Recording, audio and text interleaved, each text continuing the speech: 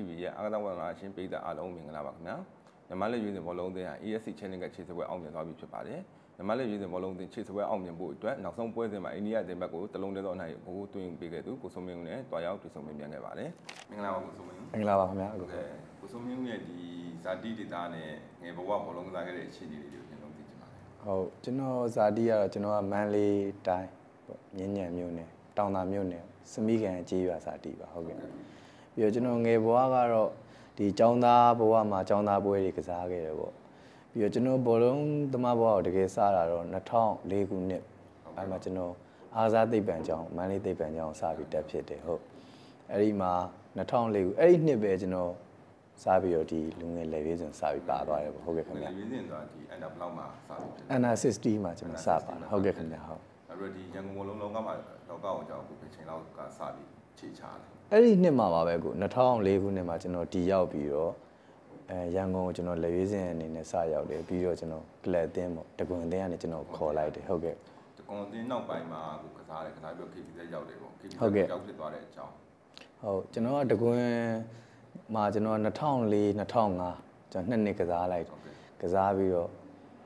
အဲနောက်ကျွန်တော်2006 2000ခွန်ကျတော့ကျွန်တော်စီပင်အသင်းကိုပြောင်းလိုက်ကျွန်တော်တကွန်အသင်းကဖြတ်သိမ်းလိုက်တော့နော်ကျွန်တော်စီပင်အသင်းကိုပြောင်းသွားတယ်စီပင်အသင်းမှာနှစ်နှစ်ကစားပြီးတော့2000ခွန်2008မှာကျွန်တော်ကမ္ဘောဇာအသင်းကိုကျွန်တော်ပြောင်းတယ်အဲ့တော့ကျတော့ professional မဖြစ်သေးဘူးကျွန်တော်အမေချာပဲရှိဟုသေးတ်ကျွန်တော်ဒီဟုတ်ကဲ့ဆင်ပေါ့ဟုတ်ကဲ့ခင်ဗျာဒီမာလီအဆင့်ရှိလိပေါ့ဟုတ်ကဲ့ဒါပေမဲ့ကျွန်တော်တို့သိသလောက်ဟိုအဲ့ဒီ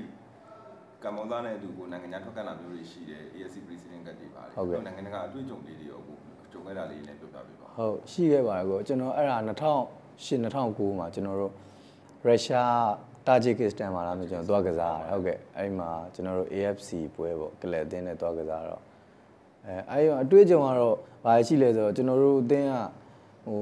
ယာဒီဥရုတန်နေအဲ့လိုမျိုးပေါ့စားတော့တန်နေအဆင်မပြေဘူးသူတို့စီမှာလေအဲနောက်တစ်ခုကကြတော့ဒီကစားတဲ့ဒီဟိုပေါ့ဒီကစားတဲ့ဒီ player ချင်းတွေလည်းကျွန်တော်အရန်စိမ့်နေသူတို့နဲ့ပြည်နိုင်ငံခြား နိုင်ငံခြားပွဲတွေကကျွန်တော်တို့ကလပ်အသင်းတွေနဲ့အရန်နေတယ်လေအဲ့အချိန်တော့ကျွန်တော်မှအဲ့အဆင်မပြေမှုတွေရှိတယ်ဟုတ်ဒီ2009မှာကျွန်တော် MM ပြောင်းသွားတယ်ဟုတ်ကဲ့ပြောင်းသွားတော့လေကိုလို KPZ က MM မှာအတင်းတင်းဖြစ်ဆက်ဟုတ်ကဲ့ရှိနေဆက်လက်ဟိုကရလည်းဟုတ်ကဲ့ KPZ မှာပဲဆက်ရှိနေဟုတ်ကဲ့ကိုဟုတ်ဒီအဲ့ဒီအခြေအနေလေးရအောင်ကိုအတင်းမပြောင်းပြဘူးဟုတ်ကဲ့တင်းတင်းတွေကကန်လန်းနေဆိုတာမျိုးတွေလည်းကျွန်တော်ကြားပါတယ်ကိုဟုတ်ကဲ့ပြောင်းပြဘူးပြောင်းပြပဲနဲ့ KPZ မှာပဲဆက်ရှိနေဖြစ်တဲ့အခြေအနေလေးဟုတ်ကဲ့ဟုတ်ဟိုတခြားအသင်းတွေကအဲ့လိုမျိုးကန်လန်းလာရတဲ့ရှိပါတယ်ကိုဒါပေမဲ့ကျွန်တော်ကဘလို့ဘလို့ကျွန်တော်စိတ်ကဘလို့ရှိလဲဆိုတော့ ဒီကမ္ဘောဇအသင်းကကျွန်တော်ကိုမွေးထုတ်ပေးထားတယ်ကျွန်တော်အဲ့လိုပဲခံယူပြီးတော့ကျွန်တော်ကမ္ဘောဇအသင်းမှာပဲအခုချိန်ဒီစိတ်ကူကတော့ကျွန်တော်ဘောလုံးသမားဘဝနားရည်ကျွန်တော်ကမ္ဘောဇမှာပဲကစားမယ်ဆိုရည်ရည်ချက်နဲ့ပေါ့ကျွန်တော်အဲ့လိုပဲဒီမှာပဲကစားဖြစ်တာပါဟုတ်ဒီကျွန်တော်တို့အကူကအပျော်ရန်ခစ်ကိုလည်းပြီးလိုက်တယ်ဟုတ်ကဲ့ပျော်ရန်ခစ်မှာလည်းကမ္ဘောဇာနဲ့ကန်တယ် CB နဲ့ကန်ခဲ့တယ်ဟုတ်ကဲ့နဲ့ကန်ခဲ့တယ်၃တင်တာဟုတ်ကဲ့ဒီ MMA မှာလည်းဟိုတောက်လျှောက်အခုချိန်ကြီးကိုဟိုဒီကကစားသမားတယောက်အနေနဲ့ဆက်လက်ရှိနေတယ်ဟုတ်ကဲ့ခင်ဗျာအဲ့တော့ဒီအပျော်ရန်နဲ့ကျွန်တော် pro နဲ့စနစ်မှာခုပြောင်းလိုက်တဲ့နောက်မှာ ဘာများကွာခြားပါလဲဒီစနစ်နှစ်ခုမှာဟုတ်ကွာခြားကတော့ကျွန်တော်တီးတဲ့လောက်ကတော့ကိုကွာခြားလာတာဒီကျွန်တော်တို့အခု professional ပြောင်းလိုက်တဲ့အချိန်မှာကျွန်တော်တို့ဒီနိုင်ငံတွေကိုဒီနိုင်ငံခြားကစားသမားတွေဝင်လာတယ်နိုင်ငံခြားသားနီးပြတွေဝင်လာတယ်အဲ့တော့ဘာလဲဆိုတော့ကျွန်တော်တို့အသင်းတွေကစားပုံတွေလည်းပြောင်းလဲသွားပါတယ်ကိုပြောင်းလဲသွားတယ်ဒီတိုးတက်လာရည်လည်းအများကြီးရှိပါတယ်တိုးတက်လာတာဆိုတော့ဒီ ဒီနိုင်ငံခြားကစားသမားတွေနိုင်ငံခြားနီးပြတွေနဲ့ကျွန်တော်တို့အတူအဲ့လိုမျိုးရှင်တွဲပြီးလေ့ကျင့်ရတော့ကျွန်တော်တို့အတွက်အတွေ့အကြုံကောင်းတွေလည်းရတယ်ကျွန်တော်အမြင်ပေါ့နော်တိုးတက်လာရည်လို့ထင်ပါတယ်ကိုဟုတ်ဒါပေမဲ့တချို့ကြတော့ကျွန်တော်ဝေဖန်မှုတွေထောက်ပြမှုတွေဝေဖန်မှုဆိုတာထောက်ပြမှုတွေပေါ့နော်ဒီ pro ပြောင်းလိုက်တယ်နိုင်ငံခြားသား player တွေရောက်လာတယ်ရောက်လာတယ်အသင်းတွေတော်တော်များများတိုက်စစ်နေရာတွေစင်တာဘက်တဲ့နေရာတွေမှာဒီ foreign player တွေကိုသုံးတယ်အဲ့အတွက် ကျွန်တော် local ကစားသမားတွေကစားခွင့်နည်းသွားတယ်ဟုတ်ကဲ့အဲ့ဒီ effect ကလေဗီးစင်အသင်းကိုသွားထိခိုက်တယ်ဆိုတာမျိုးတွေပြောဆိုမှုရှိနေလေဗီးစင်အသင်းမှာတိုက်စစ်မှုကောင်းရှားသွားတာမျိုးဟုတ်တွေကဲ့အဲ့ဒါမျိုးရောတကယ်ပဲဖြစ်လာဟုတ်ခတ်မှုရှိဖြစ်ကောင်းဖြစ်နိုင်ပါတယ်ကိုအဲ့ဒါကလည်းဒီကျွန်တော်တို့အသင်းနေအနေနဲ့လေကျွန်တော်တိုက်တွန်းနေတာပေါ့လေဒီအခုခုနပြောသလိုပဲဟုတ်တယ်သူတို့ကခေါ်ပြီးဆိုရင်နိုင်ငံခြားသားကိုရှေ့တန်း striker နေရာတွေခေါ်တယ်ဒီ center back နေရာတွေခေါ်တယ် center midfield နေရာတွေခေါ်တယ်ဒီ ဟို right back left back တို့ဥမာပေါ့ဟိုညာဆွန်ပဲဆွန်ကစားသမားတွေခေါ်တာနဲတယ်မရှိသလောက်ရှားပါတယ်ကိုကိုးသမားဆိုရင်လုံးဝမရှိဘူးခေါ်တာအဲ့လိုဆိုတော့သူတို့ကဒီနိုင်ငံခြားကစားသမားတွေကဒီအသင်းတွေမှာပေါ့အဲ့လိုရှေ့တန်းနေရာတွေမှာနောက်တန်းနေရာတွေမှာအဓိကနေရာတွေမှာ तू ကနေရာယူထားတော့ဒီပြည်တွင်းကစားသမားတွေအနေနဲ့နေရာမရရရှိပါတယ်ကိုအဲ့ဒီအတွက်ကြောင့်ဒီ အဲအကျိုးကျေးဇူးကအဲ့လိုမျိုးလက်ရွေးစင်တင်ကိုထိခိုက်တယ်ဆိုတာလေကျွန်တော်အနေနဲ့လည်းအဲ့လိုသုံးသပ်မိတယ်ကိုဟုတ်ကဲ့နောက်ပြီးတော့ကိုဒီလေရွေးစင်ကစားသမားဟိုက national team မှာပေါ့ဟုတ်ကဲ့အချိန်လောက်ကနေစပြီးရွေးချယ်ခံခဲ့ရတယ်ကျွန်တော်က national team မှာတော့ကျွန်တော်2009ခုနှစ်ကနေစပြီးတော့ဟိုရွေးခံရတာဒီပေါ့2009ခုနှစ်ပြပြိုင်ပွဲလဲပေါ့အဲကျွန်တော်မှတ်မိသလောက်တော့ကျွန်တော် C game 2000ကို C game ထင်တယ်ဟုတ်ကဲ့ 2009တေချာတော့မမှတ်မိတော့ဟုတ်ကဲ့တ်ပါတယ်ပေါ့နော်အဲ့ဒါနေနောက်ပိုင်းတော့ရှောက်ပေါ့ဘူးလက်ဟုတ်ကဲ့ရှိချိန်လေးပေါ့ကျွန်တော်ဒီလေရွေးစင်တင်ကြောင့်ပဲဆက်ပြောချင်ပါတယ်ဒီပြီးခဲ့တဲ့ဟုတ်ကဲ့ AC ချင်းကချစ်စစ်ပွဲမှာဟုတ်ကဲ့အကိုကအခွင့်အရေးလေးတွင်းခဲ့တယ်နောက်ဆုံးအိန္ဒိယနဲ့နောက်ဆုံးပွဲမှာလည်းဟုတ်ကဲ့ချစ်စစ်ပွဲအောင်မဲ့အနိုင်ကိုကိုတွင်းခဲ့တယ်ဟုတ်ကဲ့အဲ့ဒီပွဲပေါ်မှာကိုကစားခဲ့တဲ့ feeling လေးကိုကျွန်တော်သိချင်ပါတယ်ဟုတ်ကစားခဲ့တဲ့ feeling ကတော့အမှန်တမ်းကျွန်တော်ရဲ့စိတ်ထဲမှာရှိရတဲ့အတိုင်းပြောရမယ်လေကျွန်တော်ကဒီလက်ရွေးစင်တင်ကိုစပါတဲ့ကကျွန်တော်လက်ရွေးစင်တင်မှာဆိုအမြဲတမ်းရုန်းကန်ရတယ်ကိုကျွန်တော် နေရာမရတာဖြစ်တယ်ဥမာပေါ့ဟိုကျွန်တော်ဒဏ်ရာတစ်ခုပြအဲကျွန်တော်မှာအကြောင်းမျိုးမျိုးကြောင့်အဲ့လိုမျိုးလက်ရွေးစင်အတင်းအတွက်ကျွန်တော်ဟုတ်ကျွန်တော်စိတ်ထဲမှာတော့အရန်ကြိုးစားပေးခြင်းတယ်ကျွန်တော်ကိုယ်စမ်းညံစမ်းရှိတယ်ကျွန်တော်အရန်ကြိုးစားခြင်းတယ်ဒါပေမဲ့အကြောင်းမျိုးမျိုးကြောင့်ကျွန်တော်မကစားရည်လည်းရှိတယ်လို့ဒဏ်ရာရည်လည်းရှိတယ်အဲ့လိုရင်းနဲ့ပဲကျွန်တော်လွဲချော်လွဲချော်နေတယ်ဒါပေမဲ့ဒီ AFC Challenge Cup မှာတော့ကျွန်တော်အသင်းအတွက်အဲ့လိုမျိုးကျွန်တော်ကြိုးစားပေးခွင့်ရှိရတဲ့အတွက်လေကျွန်တော်အဲ့လိုကျေနပ်မှုတော့ဖြစ်မိတယ် ပြီးတော့ဂိုးကဂိုးကြောင့်ပြောတော့ဂိုးသွင်းနိုင်တာမသွင်းနိုင်တာတော့ကိုယ်ရဲ့ဒါကျွန်တော်အသင်းဘော်တွေလည်းပံ့ပိုးမှုကောင်းလို့ပြီးတော့ဒီနီးပြရဲ့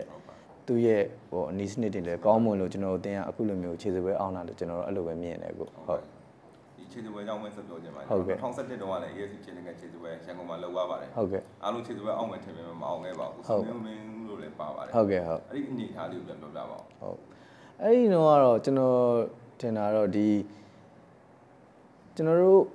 လေဝိစင်တင်ကကျွန်တော်တယောက်တည်းအမြင်ပြောရရင်ဘယ်လိုဖြစ်နေလဲဆိုတော့ဒီနိုင်ငံခြားသားနီးပြတွေကိုငှားပြီးတော့လှုပ်တဲ့အချိန်မှာမတူကြဘူးဗျာကိုတယောက်နဲ့တယောက်လေနိုင်ငံခြားသားနီးပြတယောက်လာရင်သူ့ရဲ့ပုံစံသူ့ရဲ့ကစားကွက်နဲ့မတူဘူးအဲဒီအခုပတ်ဆောင်ဝါကြီးလာရဲဆိုလဲအရင်နီးပြရင်နဲ့မတူဘူးမတူတော့အဲ့ဒီအကျိုးကျေးဇူးတွေတော့ကျွန်တော်တို့ခံစားရတာရှိပါတယ်ကိုဘာဖြစ်လို့လဲဆိုတော့သူတို့ချတဲ့ foundation ပုံစံတွေကကျွန်တော်တို့လိုက်မကစားနိုင်တာတွေလည်းရှိတယ်ကိုအဲ့ဒီအခက်အခဲတွေဟုတ်ကဲ့ အဲ့ခက်ခဲတွေကြောင့်ပဲလို့ကျွန်တော်ထင်ပါတယ်ဟုတ်အဲ့ဒါဆိုကိုလက်ရှိမြန်မာအသင်းဒီပြမဆောင်ပါဆိုတစ်နှစ်ကျော်လောက်ရှိပါပြီအဲ့ဒါနဲ့သူ့ရဲ့အနေထားကိုဘယ်လိုရှိလဲကောင်အကိုရဲ့အနေနဲ့သိချင်ပါတယ်ကျွန်တော်မြင်ရတော့ဟိုကောင်းပါတယ်သူကလေဟိုကစားသမားတွေပုံမှာလည်းတကယ်စိတ်စေနာအပြည့်နဲ့သူကတင်တင်ပေးတာတွေကျွန်တော်ကျွန်တော်တွေ့ရပါတော့ကျွန်တော်တို့ဆိုလည်းသူတေချာကိုအဲ့လိုမျိုးကိုသွင်းတဲ့ပုံစံတွေပါလေသူတေချာတင်ပေးရရှိရယ်ပြီးတော့အဲ့လိုမျိုး နှစ်ရှည်အဲ့လိုမျိုးသူ့ကိုပေါ့လေအချိန်ပေးပြီးတော့အဲ့လိုမျိုးလုံပို့ပြီးတော့ကောင်းလာမယ်လို့ကျွန်တော်တို့အဲ့လိုထင်ပါတယ်ဟုတ်ကဲ့ဟုတ်ကြပိုကောင်းလာပို့ပြီးကောင်းလာမယ်လို့ကျွန်တော်တို့မြင်ပါတယ်ဗျဟုတ်ကျွန်တော်တို့ဒီလေရွေးစင်းစင်းကြောင်းပြီးသွားရင်ကျွန်တော်ကမ္ဘောဇအစင်းကြောင်းပဲပြန်ဟုတ်ကဲ့ပါကမ္ဘောဇပြီးခဲ့တဲ့နှစ်က policy ပြောင်းသွားတယ်ဟုတ်ကဲ့ခင်ဗျနိုင်ငံသားတွေခေါ်တယ်နိုင်ငံသားတွေပြခေါ်တယ်ဟုတ်အဲ့လို policy ပြောင်းလဲသွားတဲ့အတွက်ဒီကမ္ဘောဇအစင်းကဘာတွေများပို့ပြီးပြောင်းလဲဖြစ်သွားလဲ ပြောင်းလဲသွားပါတယ်ကိုကျွန်တော်တို့ကဟိုပြီးခဲ့တဲ့2009ကစလိုက်တာပေါ့ professional ကျွန်တော်2009ကျွန်တော်3နှစ်ကျွန်တော်ဇက်တိုင်မခေါ်ဘူးပြီးခဲ့ရတဲ့ကျွန်တော်တို့ခေါ်လိုက်တယ် local player နဲ့ပဲကစားတယ်ပြီးတော့ပြီးခဲ့တဲ့နှစ်ကခေါ်လိုက်တယ်ခေါ်လိုက်တယ်ဆိုတော့ကစားသမားရောနီးပြရောပေါ့ခေါ်လိုက်တော့အတင်းကပြောင်းလဲသွားတော့ခုနကကျွန်တော်ပြောလို့ပါပဲနီးပြတွေကတယောက်နဲ့တယောက်မတူကြဘူးကွာသူတို့ရဲ့နီးစနစ်တွေပုံစံတွေမတူကြတော့ကျွန်တော်တို့အတင်းပြောင်းလဲသွားတယ် အဲတိုးတက်လာလားလို့မေးရင်တော့အနေချင်းတော့တိုးတက်လာတယ်လို့ပြောလို့ရပါတယ်ဒါပေမဲ့ကျွန်တော်တို့ဖြစ်ချင်တဲ့ချန်ပီယံတော့မဖြစ်သေးဘူးပေါ့ကွာဟုတ်တိုးတက်လာတယ်ဆိုတာဟိုအနေကြီးတိုးတက်လာတော့ဘလိုပိုင်းနေမှာတိုးတက်လာတယ်ပေါ့တိုးတက်လာတယ်ဆိုတာကတော့ကိုဒီလိုပေါ့ဒီကစားတဲ့ဟိုဒီပွဲပွဲကျွန်တော်အခုပွဲတွေတောက်လျှောက်တောက်လျှောက်ဆက်လာတဲ့အချိန်မှာသူချတဲ့ plan တွေရပေါ့လေဒီအဓိကကစားနားပေးပြီးတော့ အဲအရန်ကစားသမားတွေနဲ့ကစားတဲ့ပွဲတွေဆိုသူကစားလိုက်တာမျိုးရှိတယ်အဲ့ဒါတွေကဒီပွဲဆက်များလာတဲ့ခါကျတော့ကျွန်တော်အသင်းရဲ့ယက်တီမှုအဲ့ဒါလေးတိုးတက်လာတာပေါ့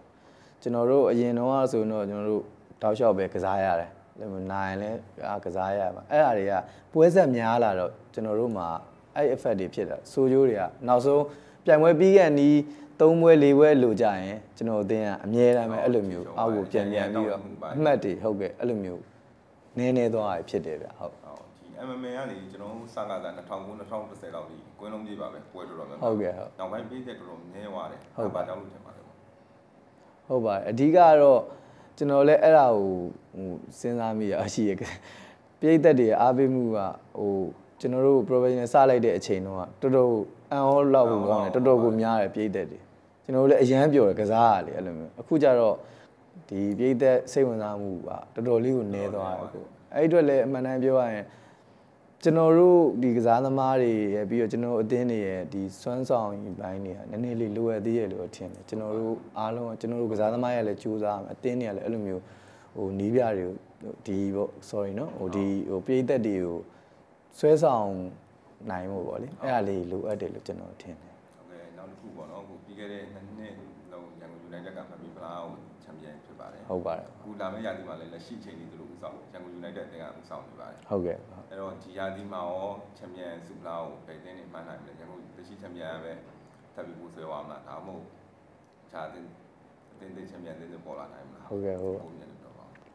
ကျွန်တော်အမြင်ပြောရရင်တော့ဒီရန်ကုန်အသင်းကသူတို့ကဟိုချန်ပီယံဆုဖလားနဲ့ထိုက်တန်ပါတယ်ဒါကျွန်တော်ပွင့်လင်းပြောတာပေါ့နော်ဘာဖြစ်လို့လဲဆိုတော့သူတို့အသင်းရဲ့ဒီ ပြင်ဆင်ထားတဲ့ပြင်ဆင်မှုအားကျန်တဲ့အသင်းတွေတဲ့အားလုံးတွေတာတယ်လို့ကျွန်တော်မြင်တယ်ဟုတ်ကဲ့ပါကစားသမားတွေခေါ်ယူမှုအပိုင်းမှာရောပြီးတော့သူတို့ဒီဆောက်ထားတဲ့ကွန်းလေ့ကျင့်ရေးကွန်းပြိုင်ပွဲကွန်းအဲပြီးတော့သူတို့ရဲ့ဒီဂျင်ကန်းနေရာမှာအစားအောင်နော်အသင်းကိုသူတို့ကတကယ်ကိုနီးစနစ်ကြကြလေးသူတို့ကအဲ့လိုမျိုးလှုပ်ထားကျွန်တော်တို့မြင်တယ်လေပြီးတော့ဟိုစားစားရပါတော့နော်ကစားသမားအင်အားပိုင်းလဲသူတို့ကတာတယ်တခြားအသင်းတွေလည်းတာတယ် အဲ့တော့ဒီပွဲဆက်တွေများလာတဲ့အခါမှာတော့အဲ့ဒါတွေကစကားပြောသွားတယ်လို့ကျွန်တော်ထင်တယ်ဟုတ်ကဲ့ကျွန်တော်တို့အသင်းကပြီးခဲ့တဲ့နှစ်ကဒုတိယရတယ်သူတို့နဲ့အမှတ်လဲမကွာဘူးဟုတ်ဒါပေမဲ့နောက်ဆုံးမှာတော့သူတို့ကအဲ့လိုမျိုးချန်ပီယံဆုကိုရသွားတယ်ကျွန်တော်ကွန်းပိတ်ဆိုရင်လည်းဒီလိုပဲဟုတ်နော်ကွန်ပိတ်ဖလားမှာလည်းကျွန်တော်တို့ဒုတိယနယ်ပဲကျင်းနေလိုက်ရတယ်အဲအဲ့ဒါတော့ AR ရသွားပါတော့ပြီးတော့အဲဒီနှစ်ဘယ်အသင်းရနိုင်မလဲဆိုတော့ဒါကျွန်တော်တို့လည်း အမှန်တမ်းပြောရင်ချန်ပီယံဖြစ်ရှင်တယ်ဟုတ်ကဲ့ပါရအောင်လည်းကျွန်တော်တို့ကြိုးစားနေတယ်ဟုတ်ကဲ့ဟိုရနိုင်မယ်လို့လည်းမျှော်မှန်းမျှော်မှန်းပါတယ်ဒီနှစ်တိုင်းတာရောပါနော်ကစားသမားတွေလည်းကျွန်တော်အားလုံးလည်းကျွန်တော်လိုချင်တာချန်ပီယံဆုပဲပြီးခဲ့တဲ့နှစ်ကဒုတိယရကျွန်တော်အရန်အရန်ကိုအဲ့လိုမျိုးစိတ်မကောင်းဖြစ်ကြတဲ့ကစားသမားတွေလည်းဒီနှစ်တော့ကျွန်တော်ကြိုးစားမှာပေါ့နော်ရန်ကုန်အသင်းကတော့စားရရပြည့်စုံပြည့်စုံတဲ့အသင်းမှာသူတို့တော့ဒီနှစ်ချန်ပီယံဖြစ်မလားဖြစ်မလားတော့ပွဲပြီးရင်ဖြစ်ပေါ်မှာဟုတ်ကဲ့ကျေးဇူးတင်ပါတယ်ဟုတ်ကဲ့ပါကို